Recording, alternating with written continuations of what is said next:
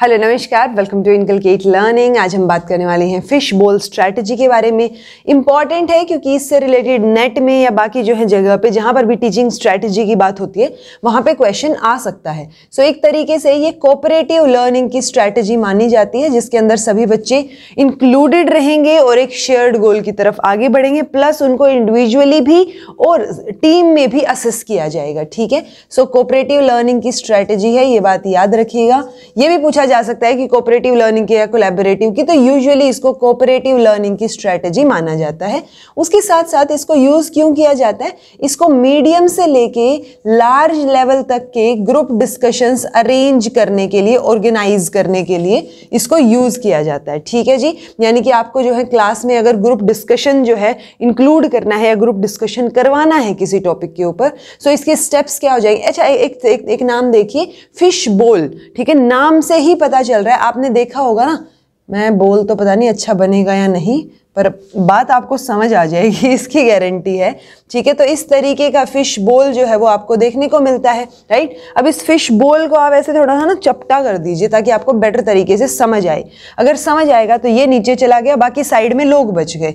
सो बीच में जो है एक ग्रुप डिस्कशन यानी इनर सर्कल इसको हम बोलेंगे, जो कि बैठ के डिस्कशन करेंगे ओके और बाहर जो ये बच गया अपना, ये वाला एरिया सो बाहर जो है सर्कल में ही बैठ के लोग क्या करेंगे? सुनेंगे उसको।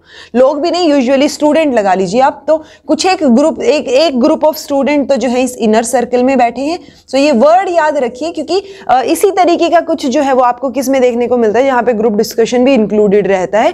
जिग्सो में देखने को मिलता है, ठीक है? जिग्सो स्ट्रैटेजी सो वहाँ पे एक्सपर्ट ग्रुप और होम ग्रुप वर्ड यूज़ होता है। यहाँ पे इनर सर्कल और आउटर सर्कल यूज़ होता है।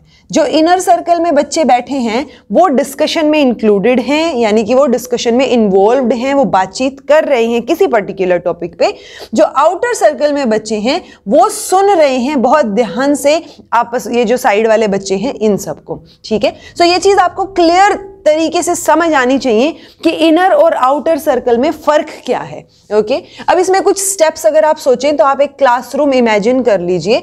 उस क्लासरूम में आप अपने आप को एक टीचर की तरह इमेजिन कीजिए और इस चीज़ को रटिए मत, समझने की कोशिश कीजिए, ठीक है? तो सबसे पहली चीज़ क्या हो जाएगी कि आपको एक टॉपिक सिलेक्ट करना है। सो बीइंग अ टीचर अब आप सिर्फ़ फैसिलिटेटर का काम करेंगे, वो भी शुरुआत में कि बीइंग अ टीचर आपके पास एक टॉपिक है। हो सके तो आप बच्चों को भी ये टॉपिक इन्फॉर्म कर दीजिए ताकि वो प्रिपेयर करके आए, ठीक है? अब इस टॉपिक के बाद आपको क्या करना है? चार से पाँच बच्चों का एक फ़िश बॉल बनाना है, ठीक है? ये चार से पाँच बच्चे जो हैं, ये इनर सर्कल में रहेंगे, जो कि यहाँ पे बैठेंगे, मान लो ये पाँच बच्चे हैं, ये यहाँ बैठे हैं। देन हम क्या करेंगे? जो बाहर वाले बच्चे हैं, जो अदर जो है, क्या आउटर सर्कल में अपने बैठे हैं हैं, इन लोगों को हम इंस्ट्रक्ट करेंगे कि भाई आपको जो है, इनकी बातों को ध्यान से सुनना है और उस सुनने के बाद आपको इंपॉर्टेंट पॉइंट्स को जो है वो नोट डाउन करना है। ठीक है? अब इन लोगों को हम ये भी इंफॉर्म कर सकते हैं कि बीच में मतलब जैसे ही डिस्कशन चल रहा होगा, हो सकता है कि इनमें से किसी बच्चे को यहाँ स्विच कर दिया जाए, यानी आउटर सर्कल से इनर सर्कल में स्विच कर दिया जाए। बट ये बात ध्यान रखिए कि जब तक इनर सर्कल में है, तब तक ही आप डिस्कशन में शामिल हैं। बाहर वाले मतलब अगर ये बच्चा यहाँ बाहर आ गया है रिप्लेस होके सो ऑब्वियसली पहले तो इसको इन्फॉर्म कर दीजिए कि आपको जो है रोटेट किया जा रहा है। रोटेशन की रोटेशन वाइज आपको जो है चेंज किया किया जाएगा बिकॉज़ जो आउटर सर्कल में है ना हमें धीरे धीरे करके उन सबको मौका देना है कि वो इनर सर्कल में आए और उस डिस्कशन में शामिल हो। ठीक है? सो so, हर एक बच्चे को वो इनर सर्कल और आउटर सर्कल का एक्सपीरियंस रहेगा और उनको हम बेटर तरीके से इंस्ट्रक्ट करेंगे बाहर वाला जो आउटर सर्कल है कि भाई आपको बहुत मतलब चुप रहना है आपको you you have you should be quiet और उसके साथ साथ आपको ऑब्ज़र्व करना है। ऑब्ज़र्व करने के बाद आपको पॉइंट्स नोट डाउन करने हैं। स्टार्टिंग में आप क्या करेंगे? फैसिलिटेटर का काम करेंगे। फैसिलिटेटर तो टीचर जो है वो स्टार्टिंग में फैसिलिटेटर का काम करेगा और फैसिलिटेटर क्या करेगा? इस ग्रुप डिस्कशन को फैसिलिटेट करेगा, यानी जहाँ पर भी उनको थोड़ी एनर्जी डाउन लगी, वो एक क्वेश्चन जो है वो बीच में फेंक देंगे और एक डीपर अंडरस्टैंडिंग के लिए वो क्वेश्चन जो है वो बहुत ज़रूरी होगा कि उससे और बेटर तरीके से डिस्कशन हो रहा हो उस पॉइंट के ऊपर राइट सो स्टार्टिंग में आप फैसिलिटेटर का काम करेंगे, बाद में आप क्या कर सकते हैं? किसी स्टूडेंट को भी फैसिलिटेटर का काम दे सकते हैं। तो एक स्टूडेंट भी फैसिलिटेटर हो सकता है बाद में ओके बट ये बात ज़रूर ध्यान रखनी है कि जब तक आप आउटर सर्कल में हैं आप चुप हैं सिर्फ़ ऑब्ज़र्व कर रहे हैं। जब ये सारा जो है डिस्कशन चीज़ें हो गई हमने जब सारा का सारा रोटेशन कर दिया हमने इनर सर्कल आउटर सर्कल में सब बच्चों को बैठने का मौका दे दिया सब बच्चे डिस्कशन में भी इंक्लूडेड हैं। जब हम इसका रोटेशन कर रहे हैं उस टाइम पे हम इनको इन्फॉर्म भी कर रहे हैं। सो so, ओवरऑल हमें नज़र आ रहा है कि डिस्कशन कहीं ना कहीं रैपअप हो रहा है। अब जब इन ये सारी की सारी चीज़ें हो गई हैं सबका नंबर आ गया है एक एक करके उसके बाद आप क्या करेंगे? एक स्मॉल ग्रुप में क्लास को डिवाइड करेंगे। उन स्मॉल ग्रुप्स में डिवाइड करने का रीजन क्या है? कि अब आप उनसे डीब्रीफ करने को कहेंगे। ठीक है? यानी उन्होंने क्या सीखा यहाँ से? वो अब आपको ब्रीफ मतलब डीब्रीफ करेंगे कि आपके सामने बताएँगे कि उन्होंने क्या सीखा है ये ये ग्रुप डिस्कशन से या ये जो अपना फ़िश बॉल स्ट्रैटेजी आपने अपनाई है। ये अच्छा ओके ये जो इनर सर्कल है ना, इसको फ़िश बॉल भी बोला जाता है। अगर आपको बोला जाए ना कि दो सर्कल हैं inner circle outer circle so inner circle को फ़िश बोल और आउटर सर्कल को आप ऑब्जर्वर बोलते हैं। ठीक है? सो so, अब आप क्या करेंगे? जब ये डीब्रीफ कर रहे हैं आपको आपने एक फाइनल क्वेश्चन इनके सामने रखा है। फाइनल क्वेश्चन में आप इनको बोल रहे हैं कि अब आप सोचिए इसके बारे में आपस में जो है पेयरिंग में भी डिस्कशन आप कर सकते हैं और लास्ट में उसको लिखिए उस क्वेश्चन को राइट अप कीजिए।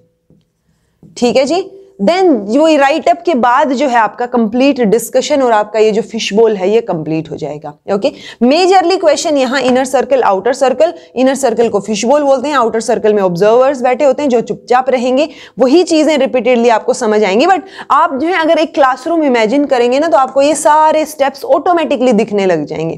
लास्ट में आप एक और चीज़ कर सकते हैं। एक तो है, आप इन बच्चों से जो क्वेश्चन पूछेंगे ना, एक रहेंगे फ़िश बोल क्वेश्चन और एक रहेंगे ऑब्जर्वर क्वेश्चन सो जब बच्चा फ़िश बॉल में था, अब उससे इस तरीके का क्वेश्चन पूछ सकते हैं कि जब वो फ़िश बॉल में था, जब सब उसको सुन रहे थे तो उसको कैसा फील हो रहा था? अगर उसको वापस से चांस दिया जाए तो क्या चीज़ ऐसी रह गई जो वो मॉडिफाई करना चाहेगा या कौन सा पॉइंट ऐसा रह गया जो वो बोलना चाहेगा? अगर उसकी मदर टंग में ये सारी चीज़ें होती तो वो कितने बेटर तरीके से अपनी बात रख पाता? सो वो सारी चीज़ें आप पूछ सकते हैं। ऑब्जर्वर से आप पूछ सकते हैं कि उसने क्या सीखा? क्योंकि ऑब्जर्वर ना एक तरीके से आपको इफेक्टिवली वो ऑब्जर्वर जो बाहर के सुन रहा है ना? वो बहुत एक तो लिसनिंग स्किल डेवलप हो रही है डेफिनेटली स्किल्स तो डेवलप हो रही है डिस्कशन में स्पीकिंग स्किल्स जो हैं वो डेवलप हो रही है और डिस्कशन में आप सोच भी रहे हैं। सो so, एक तरीके से क्रिटिकल थिंकिंग स्किल्स भी आपकी डेवलप हो रही हैं। सो so, वो सारी चीज़ें तो ऑब्वियस सी बात है कि आपकी एक टीचिंग स्ट्रेटेजी है। सो so, कुछ ना कुछ चीज़ें और कुछ ना कुछ स्किल्स तो डेवलप होंगी ही। बट फिशबॉल क्वेश्चन और ऑब्जर्वर क्वेश्चन आप याद रख सकते हैं। ऑब्जर्वर से आप पूछ सकते हैं कि उनको बाहर बैठ के या दूसरों को सुन के कैसा लगा। ठीक है? उनको क्या समझ आया इन सारी चीज़ों से? Okay okay? सो ये आपका पूरी की पूरी फ़िश बॉल की स्ट्रैटेजी रहेगी। मैं उम्मीद कर रही हूँ आपको समझ आई होगी।